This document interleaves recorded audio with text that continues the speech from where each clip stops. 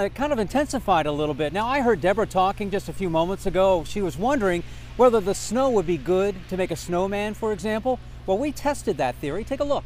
We whipped this up in like five minutes. It's awesome snow for a snowman, and I'm not giving anybody any ideas, but this is awesome snowball of snow as well. But uh, please don't throw them at cars. Look, as I mentioned, the snow is once again coming down at a much faster clip. It's always been kind of an ebb and flow here. County officials expect four to eight, to eight inches before it's all over.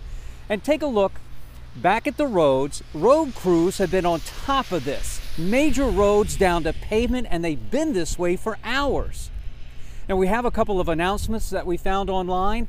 Annapolis City will stop most transit services at 3 p.m., including the state shuttle from Navy Stadium.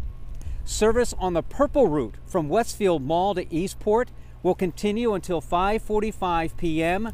Light rail lines, and again, this is in Anne Arundel County area, are experiencing delays. Now, county also has, and we didn't mention this earlier, they have some warming centers that are now open. And as you can see along Maryland Route 2 here, there are a lot of businesses along this road. Some of the businesses have really opened their hearts they have a number of homeless people taking shelter in some of them. Back to you. Mm, that's good to hear, David. It really is. Very